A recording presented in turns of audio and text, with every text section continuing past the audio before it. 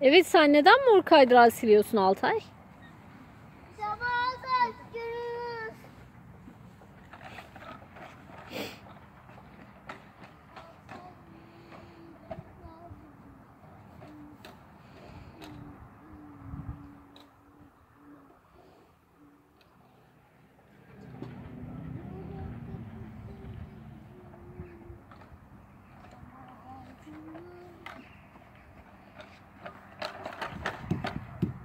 Hayır hayır ayağını ezme Altay'ın kenardan geç.